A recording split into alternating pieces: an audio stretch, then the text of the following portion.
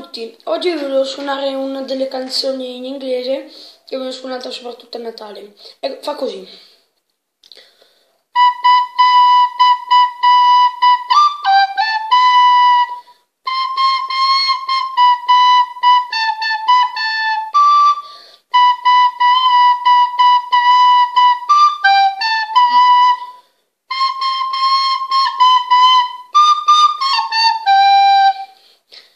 Questo è tutto per oggi e iscrivetevi anche nel prossimo vlog. Grazie.